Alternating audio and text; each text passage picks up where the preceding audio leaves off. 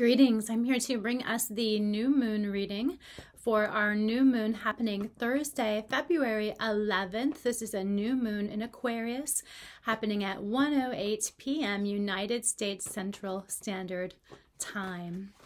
I will be using the Morgan Greer deck I will be drawing four cards for us, speaking about them individually and then talking about them all together. We are seeking the guidance and the messages that will assist us in best traversing this new moon energy of February 2021. The first card is going to be the Two of Swords. The Two of Swords is about balance and boundaries. The Two of Swords is about knowing when to protect ourselves and also knowing when we are being protected from outside forces, understanding that we don't always have access to everything. And sometimes that is for the purpose of protecting us. Sometimes we are being divinely protected when we're not able to break through in a certain area. And just like it's healthy for us to have boundaries for ourselves and to protect ourselves when it is wise to, the universe also protects us in a way that is healthy and in a way that has wisdom. Sometimes, when we can't move forward in our lives or when we can't break through in a specific area, in a specific project or into a specific endeavor, it's because the universe is protecting us. Understand that not everything is meant for us. And this new moon reading is brought to us by my patrons via Mystic membership. I'm very grateful for their participation and their sponsorship. If you would like to check out Mr. Mystic membership, please look below the video to see more information. Our next piece of guidance for best traversing the energy of the new moon, the Aquarius new moon in February 2021. Our next piece of guidance is the World card.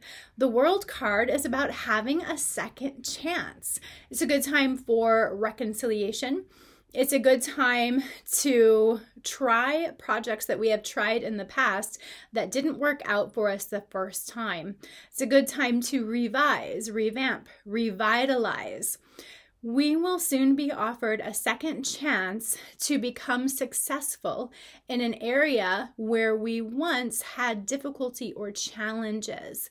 This will be a good new moon to revisit things that didn't work out for us previously because now we have the skills, we have the tools, we have the wisdom. We know how to make the situation work for us, we know how to gain success out of it. And not only that, we will gain great fulfillment by revisiting that dream, that project, that situation, or that endeavor. So it looks like the reason that we are being blocked in one area is so that we can go back and have a second chance in the area that was right for us all along. The only reason it was blocked in the first place is because we needed time to gain those skills, to gain that knowledge, so that we could then make it successful. What is the next piece of guidance available for us for the Aquarius new moon in February 2021? It's the Seven of Cups. And on the day that I'm recording this, the Seven of Cups was also my card of the day. The Seven of Cups is about breaking through illusions, breaking through delusions. This is about seeing things for what they really are, seeing things as they play out directly in front of us, rather than getting caught up in how things could be, or how things should be, or how we wish things were we are now to really look our lives, look our realities in the face, and accept what's really going on in front of us. This card is often applied to relationships as well, especially situations where people present to us what they could offer us or what the relationship might become. When people offer to us a dream version, an idealized version, or it, a version, a, a fantasy version of what things could be. It's our task to look at what things really are.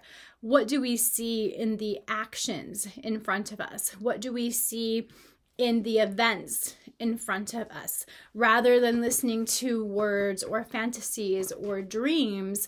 At this time, during this new moon, we are to really just look at the facts, look at the events, and ascertain for ourselves what is true truth is subjective, but we also need to have practical and logical methods for determining what is going on in front of us, especially when what is being said or what is being presented doesn't quite add up to what we're feeling or how we're experiencing things. It will be a good new moon to really um, look at the facts and to break free from fantasies illusions and delusions that can also be a kind of um, almost like a curse breaking kind of energy, just in terms of breaking free from any kind of perceptions that we have that are based on.